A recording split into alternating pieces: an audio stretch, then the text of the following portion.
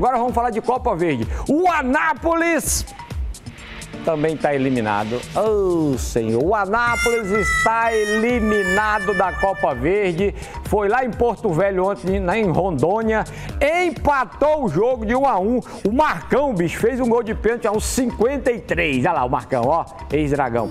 O goleiro foi, mas não pegou. Ué, Claudio, mas aí o empate não dá Anápolis. Não, na Copa Verde é diferente. Aí a decisão foi para os pênaltis. O Stefano fez isso daí, ó. Jogou a bola longe do gol e o pessoal de Nova Lima, o pessoal de. É, jogou lá em Catalão. O pessoal de Porto Velho não errou nenhuma.